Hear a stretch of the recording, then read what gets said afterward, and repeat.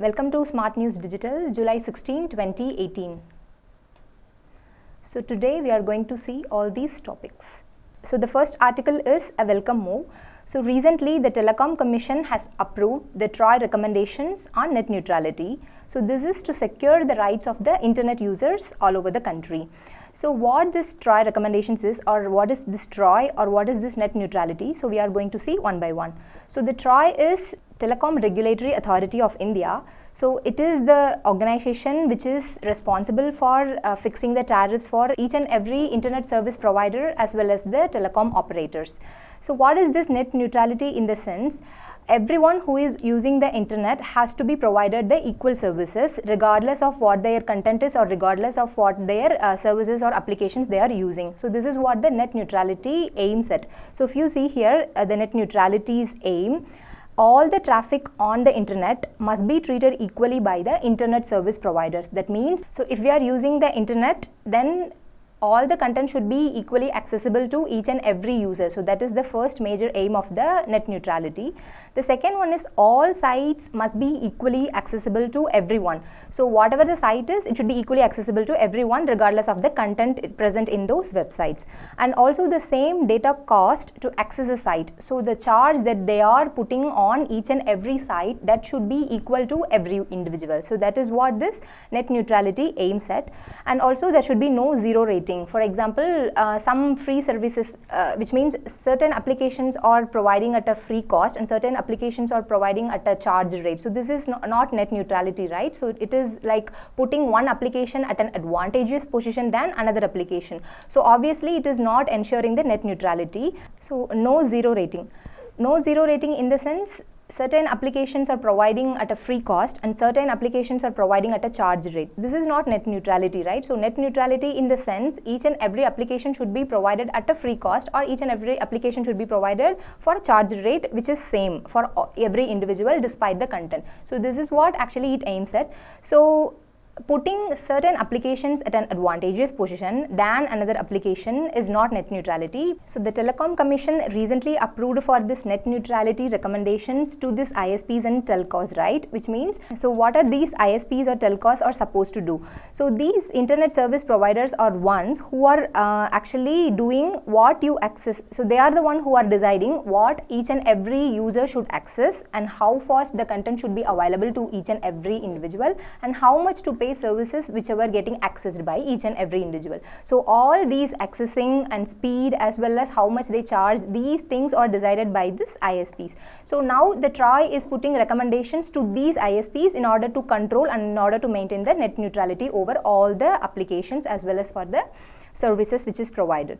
So by means of implementing this TRAI recommendations, India will now have a strong net neutrality regulations. So for example, we all know that the information that flow uh, via the network is in the forms of bits like zeros and ones. So there should be no discrimination on the basis of the content that flows over the internet, right? So it is after all zeros and ones that are flowing through the internet. So you should not discriminate that content. If you see in this picture, net neutrality in the sense all the internet users can go on the same speed uh, by whenever they are using this internet services but if you see in this case, if at all you are going to pay for some services, then you are obviously going in a very uh, speeder phase in the sense you are getting a very fast internet service over other. So it is not equality. So preference is given uh, to one person than another is not equality. So it is not net neutrality's concept. For example, Airtel is the largest telecom service provider in the world. A few years back, actually, it planned to implement or it planned to charge for the over-the-top services such as Skype, WhatsApp, Viber, etc. But by means of TRAI interruption, Airtel actually stopped that plan. Similarly, internet.org, see here, so it is like a collection of websites which is made available freely for the certain set of subscribers. So this is also not what this net neutrality is actually aiming at. Similarly, Airtel Zero in the sense, uh, for example, Flipkart is paying some amount of money to Airtel to make the Flipkart available available freely to each and every uh, individual. So what about the competitors like Snapdeal and all? So if Flipkart is available freely to the every subscriber, then obviously everyone is going toward Flipkart and not to, towards this Snapdeal or Amazon.com. So it actually demotivates the competition which is prevailing in the uh, Indian economy. So it violates the spirit of uh, competition in the market. So for example, if Flipkart is obviously going to uh, provide free services to the customers in the sense they are going to access the Flipkart at free as well as at a speeder rate than Amazon or uh, Snapdeal. So it is also putting this net neutrality's aim at par. So the second topic is be cautious in shifting to DBT which means direct benefit transfer. So the RBI has recently advised all the states that are planning to shift to cash transfer to be cautious.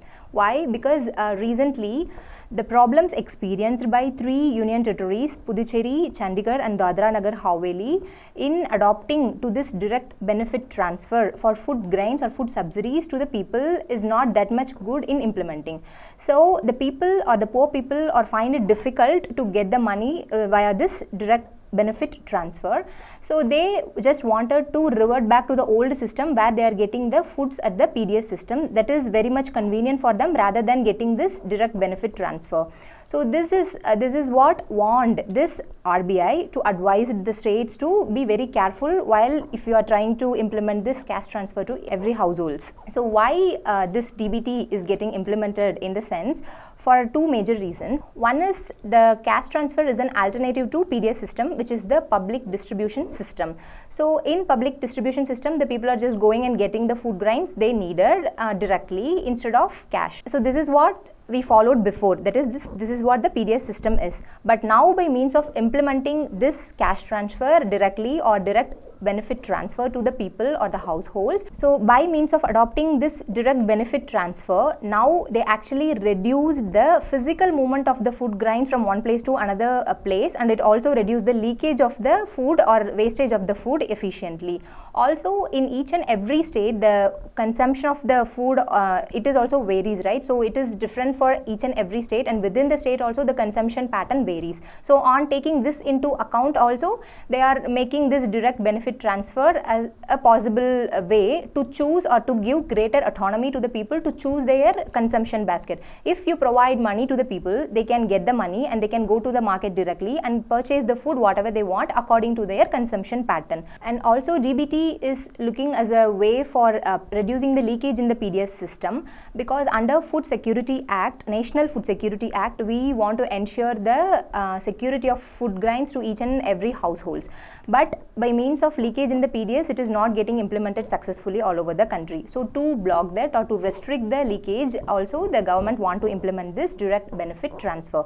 But while implementing this DBT, they are facing certain problems. So the first one is inadequacy of transfers to maintain the pre-DBT consumption level. In the sense, before implementing this DBT itself, uh, the people are getting food grains at a subsidized price in the markets at a good amount only. They are enjoying their entitlements in a good way itself before, but now after this DBT implementation, it is what they are stating here is the inadequacy in the transfers in the sense it is not reaching the people uh, so far what it is actually aimed at. So this is a major problem. So second one is insufficiency of last mile delivery. So this transfer of cash or direct benefit transfer to the people or to the household is not reaching the last mile connectivity. It is not reaching every individual who are actually entitled to. So the second major problem is insufficiency of last mile delivery. In the sense, by means of implementing this DBT, we are transferring the ca uh, cash to the directly to the bank account of the poor households.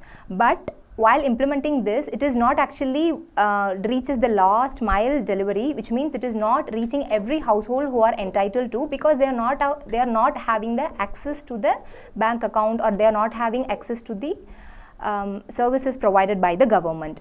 And also the third one is a weak grievance redressal system. If at all a people is not getting what they are supposed to get, like uh, they are actually supposed to get the direct cash, right? But if they are not getting that, then there should be a grievance redressal mechanism so that they can go and complain and get what they actually have to get.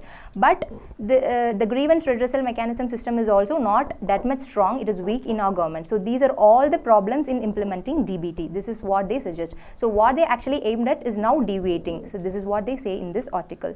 So what are the way forward in the sense? So the complete digitization of all the data is should be a major step in curbing the corruption, whatever happened in the PDS system or whatever happened in this DBT direct benefit transfer and deduplication of the beneficiary database. We all know that uh, certain people are applying for more than two, three beneficiary entitlements, uh, which is restricting the other people to get what they actually supposed to get. So deduplication or elimination of those ghost beneficiaries should should also be ensured in order to uh, in order to implement this uh, DBT a successful one. So the next one is seeding of this bank account details and the other numbers into the database should also be uh, done to ensure the reaching of this DBT to each and every household. So this is what the RBI suggested every state to be more careful while implementing this DBT. So the third article is Harrier birds decline as grasslands disappear. So in this article what they are telling is in India, which is the largest roosting sites for this harrier birds, especially for pallid harriers and Montagu's harriers. Uh, these are these harriers are a migratory raptor species in the sense they are like hawk or eagle or vulture kind of a thing. So this population of harrier birds are now declining. So this is what the major concern or this is what the article tells about. So where it is mostly observed is the first one is the most dramatic changes or the most declining of the population of these harrier birds is observed at Rollapadu Bustard Sanctuary in Andhra Pradesh, Kurnool district and in also at Hesaraghatta outskirts of Bangalore also this Mars harrier bird right this western Mars harrier birds uh, population is nearly deserted in the sense it is nearly extinct. So these are all raising the concerns why they are actually the population is declining. So this is mainly due to the loss of grasslands because the grasslands are the grasslands are getting reduced mainly due to urbanization or agricultural practices followed by us. And also the farmlands which are the roosting sites for these vultures or these harrier birds is also burnt or overgrazed so that they couldn't be able to use in the future. So excessive use of pesticides in the farms in and around these roosting sites of the harrier band harrier birds is also kills the grasshoppers which are the major primary prey for this harrier birds. So these are all the implications or the, these are all the reasons why this harrier birds are declining. What you have to observe here is in Central Asia, the population of this harrier birds is not declining. There is no drastic change in their population in Central Asia. But the arrival of those birds to our country is declining. So, which indicates that obviously the loss of habitat is taking place here. So, what is the solution for this or what is the way forward is conservation of the grassland by our country should be a major start in protecting these species. So the fourth article is golden jackal faces threat in its habitat. So the destruction of the mangrove cover is the major reason for their threat, which means recently they observed in Bandar Reserve Forest that the destruction of mangrove cover uh, is leading to the forcing of the golden jackal out of its habitat as well as triggering the conflict with the local communities. So now it is like man animal conflict, right? So you can observe. Even though the status of uh, this golden jackal is least concern, we should take some immediate steps so that it is not going into vulnerable category. So what is the way forward is preventing the encroachment of the mangrove by the uh, human community should be a major step for uh, preserving this golden jackal for the future. So the next article is domestic tech security firms get priority in government purchases. So already we had public procurement order 2017 so under this, this, these two are the major aims to encourage the make in India and promote the manufacturing and production of goods and services in India itself. So this is what the major aim of this public procurement 2017 order. So it is also to enhance the income and employment of our citizens in the country. So under this order we have something like the minimum order that should be procured by the each and every company should be at least 50% local uh, locally. So this is also a major step in improving the make in India as well as to provide employment to the citizens of the country. So making this provision as a way forward, what the IT ministry and the MeitY which is the Ministry of Electronics and Information Technology states is they declare this tech security or the technological security as a strategic sector. In the sense preferences should, preferences should be given to the uh, locally manufactured or domestically manufactured cyber security products than the imported ones. So this is what they're actually aiming at. So under this order, what the center is trying to insist is by means of making this cyber security as a strategic sector, all the public procurements of the cyber security products should be procured from the Indian companies or the Indian firms. So if you see in this picture, see here you can see India and the US have the largest cyber security talent pool. So we have to make use of that in order to make our economy prosperous. So already US, China and Russia are actually started this process. So it is now imperative for India to start this process as well as to, to protect our information space as well as to uh, make our economy prosperous. The next article is a helping hand for Indian universities.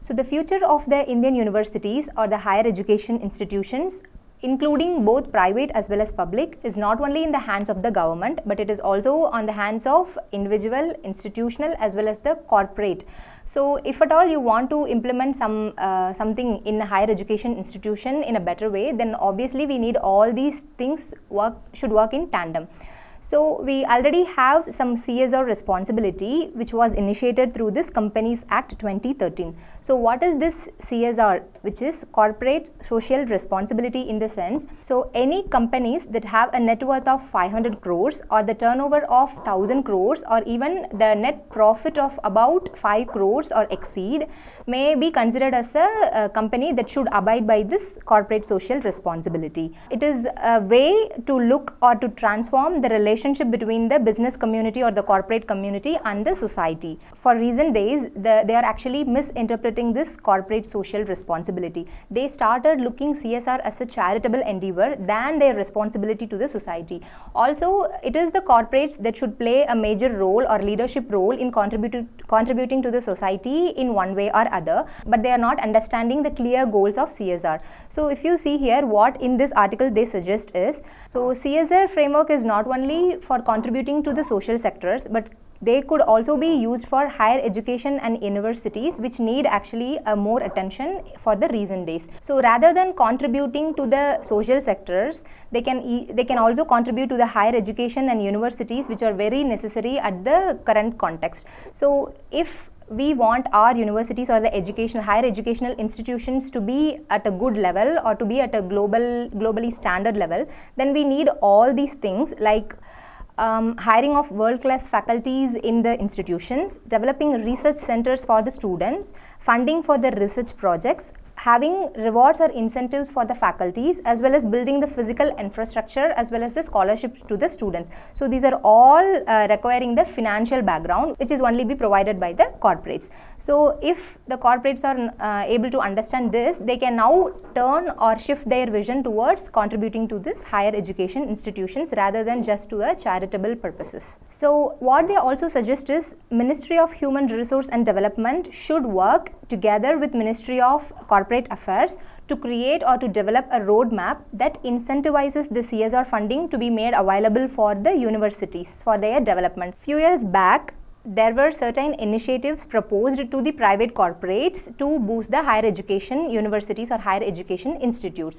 Like a free land for 999 years for a university by the uh, corporate companies. Also uh, like 300% deduction in their tax if at all a company is going to invest or boost this higher education institutions. Similarly 10 to 20 years of multiple visa entry for the research scholars. So these are all some kind of uh, initiatives for implementing this CSR by the corporate companies. But however, it is not getting implemented. So that is a major concern. So you understand, right? Recently, we have this Institute of Eminence policy under which six institutes got this Institute of Eminence tag, which means they are actually aimed at making these six universities to a global standard.